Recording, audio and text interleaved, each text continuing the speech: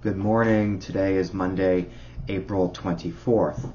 And something was said yesterday in our uh, Sunday worship service uh, that I've been thinking about ever since.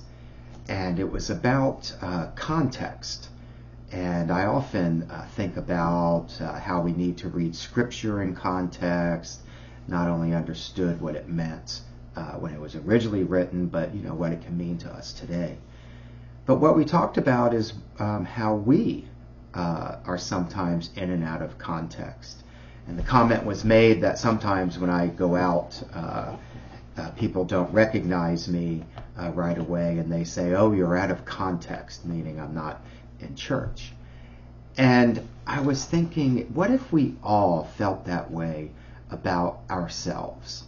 What if we all could feel that way about what we read about Jesus and God and the Holy Spirit in the Bible. I think sometimes we, or at least I, uh, have a, a, a, singular picture of, of Jesus and God and the Holy Spirit.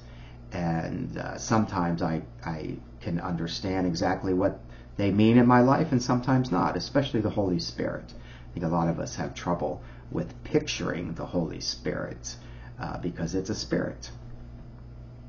And so I, I wondered if this week we could see other people in the context of Christ.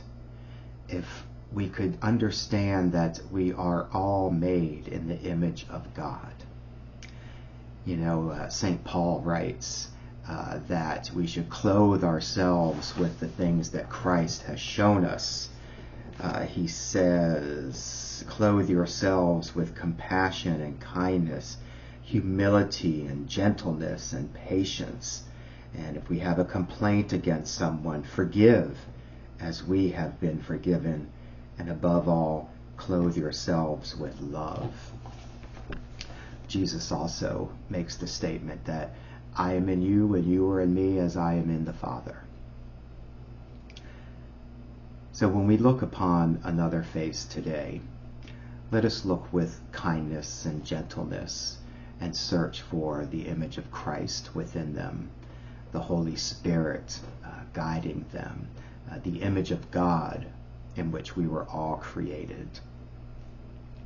A while back, uh, a friend of mine had to write a song and we came up with it together. This was during some sort of uh, Bible study, I think, and it was about the Holy Spirit. And uh, the first line says, uh, woke up, got out of bed, drawed a comb across my head, looked in the mirror, and saw the Holy Spirit staring back at me.